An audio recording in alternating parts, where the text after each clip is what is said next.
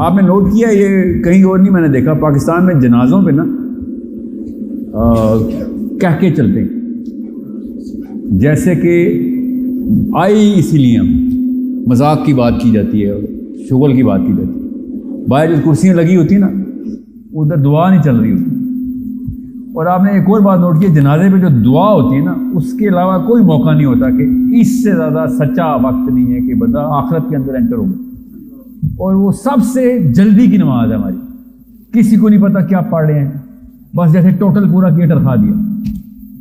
तो उस मुर्दे की नहीं, वो असल में वो जिंदों की औकात नज़र आती।